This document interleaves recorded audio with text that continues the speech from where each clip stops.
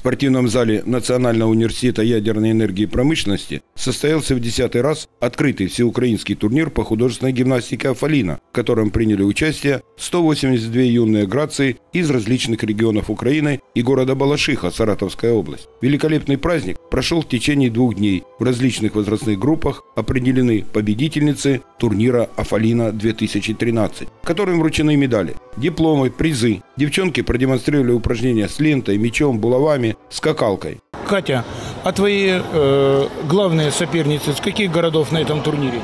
С Белой Церкви и Харькова. Упражнения с какими предметами ты выполняешь? С обручем и мечом. И где совершенствуешь свое мастерство, под чьим руководством? В обруче э, под руководством Эленоры Алексеевны Лускова. А где ты готовилась к этим соревнованиям, к этому главному старту года? Я, я тренировалась в спортивной школе «Парус» под руководством Эленоры, Лусковой Эленоры Алексеевны. А будешь соревноваться с какими предметами? Я буду делать без предмета и мяч.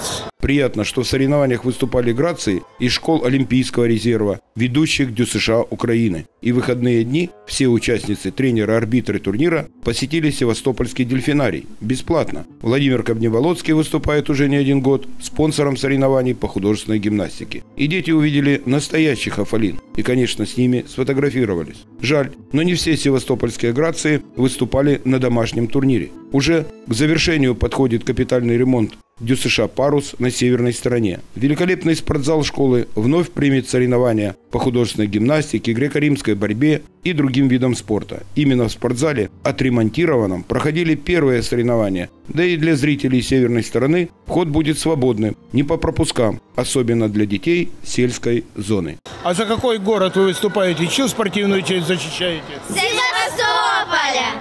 Владимир Милянский, Наталья Бабкевич, программа «Наше время».